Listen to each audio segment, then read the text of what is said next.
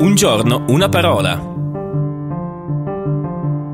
Le letture di questo mese sono a cura di Giovanni Bernardini e Daniela Grill. Bentrovati e bentrovate, giovedì 24 ottobre. La prima lettura di oggi è tratta dal Salmo 26, dal versetto 12. Hai fatto cavalcare uomini sul nostro capo. Siamo passati attraverso il fuoco e l'acqua, ma poi ci hai tratti fuori in un luogo di refrigerio. La seconda lettura è tratta da 1 Giovanni, capitolo 5, versetto 4. Tutto quello che è nato da Dio vince il mondo, e questa è la vittoria che ha vinto il mondo, la nostra fede.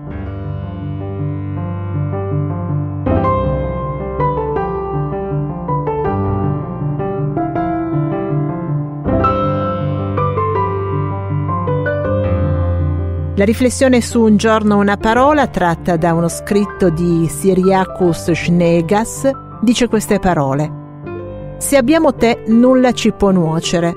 Non il diavolo, non il mondo lontano da te, non il peccato, non la morte. Tu hai la vita nelle tue mani. Puoi volgere al bene ciò che ci colpisce in qualunque modo si presenti l'afflizione. Perciò ti glorifichiamo Innalziamo a te la lode con chiaro suono, tutti insieme ci rallegriamo nell'ora in cui ci incontri. Alleluia. Gioiosi ed esultanti, con il cuore e con la bocca celebriamo e amiamo la tua forza che dall'alto ci soccorre. Alleluia.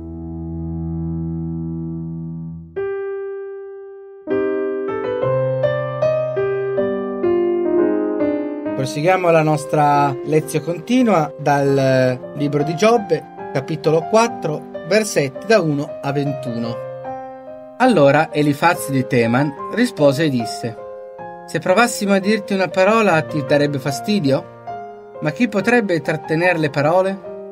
Tu ne hai ammaestrati molti, hai fortificato le mani stanche e le tue parole hanno rialzato chi stava cadendo. Hai rafforzato le ginocchia vacillanti e ora che il male piomba su di te ti lascia abbattere. Ora che è giunto fino a te, sei tutto smarrito. Il tuo timore di Dio non ti dà fiducia?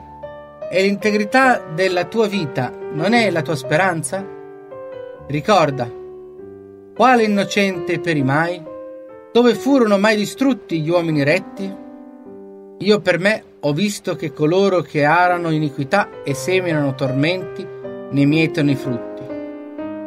Al soffio di Dio essi periscono dal vento della sua ira sono consumati.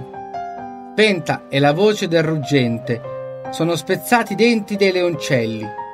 Perisce per mancanza di preda il forte leone e restano dispersi i piccini della leonessa.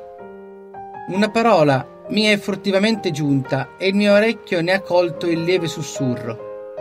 Tra i pensieri delle visioni notturne, quando un sonno profondo cade sui mortali, uno spavento mi prese, un tremore che mi fece fremere tutte le ossa. Uno spirito mi passò davanti e i peli mi si rizzarono addosso. Si fermò, ma non riconobbi il suo sembiante. Una figura mi stava davanti agli occhi e udii una voce sommessa che diceva Può il mortale essere giusto davanti a Dio? Può l'uomo essere puro davanti al suo creatore?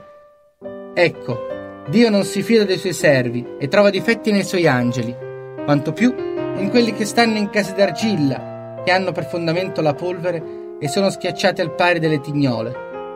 Fra la mattina e la sera sono infranti, periscono per sempre, senza che nessuno se ne accorga.